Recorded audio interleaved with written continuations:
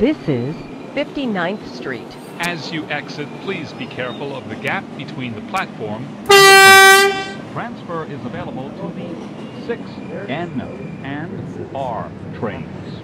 A free transfer is also available to the F and Q trains by walking to the Lexington Avenue 63rd Street station and use an OMNY or your Metro card. This is a Bowling Green bound 5 express train. The next stop is Grand Central, 42nd Street. Stand clear of the closing doors, please.